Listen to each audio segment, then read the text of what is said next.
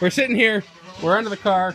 Well, we aren't now, but um, we're taking the uh, the CV axles out of the car, and um, I decided to use my torque wrench, which I've done a thousand times, to uh, you know put the axle nut on and all that stuff. Um, and this happens. And not only that, but this. We put a breaker bar on it. We put a breaker bar over it, bends in half. and it freaking bends in half. So we take So then this guy, put a breaker bar on it. And I it- jump on it with my 210 pound fat ass.